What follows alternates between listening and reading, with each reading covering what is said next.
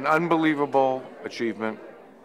Four years ago, we stood in front of a cake with two ones and three zeros, and I thought, how on earth do we get, how do we get four more years?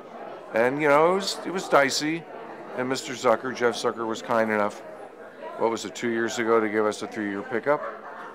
Uh, we stand here today at 12,000, and I look forward to our 50th anniversary in three years. In three years. In three years, and I look forward to 13,000 in four years. I think, you know, this show is a piece of American folklore. It's in an a American pop. It's American. It's American pop. pop. It's an Right. icon, Right. and everyone loves uh, the Hortons, the Brady's, the DiMeras, and these, and the uh, who am I forgetting? Well, what a lot of people don't know is this is the guy who is probably longer than anybody in the history of television kept this show on the air. I think he's the longest executive producer of a scripted television series. So we owe it all to Ken Corday.